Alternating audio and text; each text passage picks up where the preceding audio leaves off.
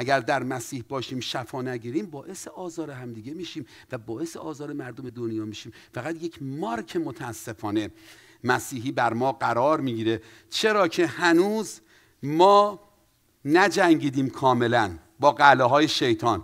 قله های شیطان کجاست؟ برابر. قله های شیطان و رد پای شیطان در اصل در وجود ما هستش. ما یک سهمی داریم. من به مسیح ایمان آوردم. گناهان من بخشیده شده. آمین. و من دیو ندارم دیگه. مطمئن باشید. شیطان در من نیست اما بیرون هست. مطابق اول پتروس 5 8 میگه شیطان همچون شیر گرسنه‌ای در کمینه.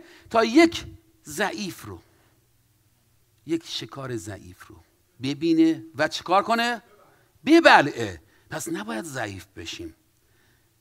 خداوند ما رو نجات داده. اما این پکیج نجاتی که برای ما داده شده یه قسمت سهم منه که باید خودم رو آزاد کنم از چیزهایی که منو به اسارت گرفته در مسیر گناه.